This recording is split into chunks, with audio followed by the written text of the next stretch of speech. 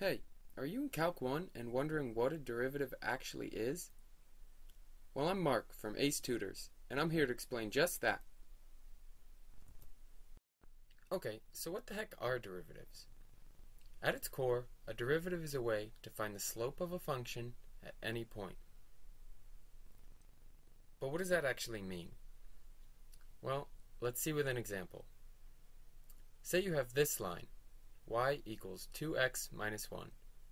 What is the slope of this line? Using your previous knowledge, you may notice that this equation is in the form y equals mx plus b, and in that case, you can easily see that the slope is equal to 2. If you didn't see that, you can always use the classic rise over run formula. For this line, plugging in these two points, 1, 1 and 0, negative 1, you would get that the slope of the line is also 2. Boom! You just found your first derivative.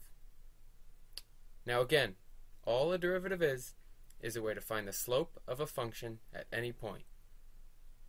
But why was the line example so simple?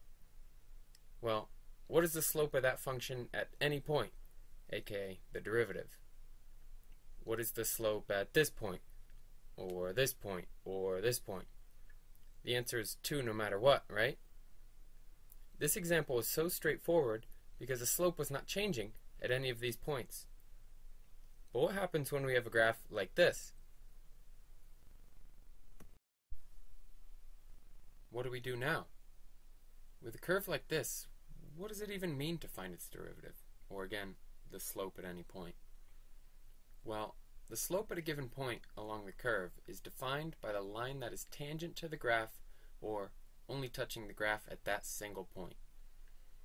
And we already know how to find the slope of a line, so it should be pretty easy, right? Well, unlike the line example, the slope or the tangent line on the graph is changing at every point along the curve. So instead of just being a constant value like 2 in the previous example, the derivative will be a function like this, where you can plug in any x value and get the graph slope at that point. But how the heck are we supposed to find the derivative function? That is where calculus comes to our rescue. Calculus provides several techniques and rules that can be followed to find the derivative of any function you'll come across. Pretty soon, you'll be able to take the derivative of this, or this, or even this bad boy without even batting an eye. Thanks for watching, and remember, you have big dreams. Don't let a class get in the way.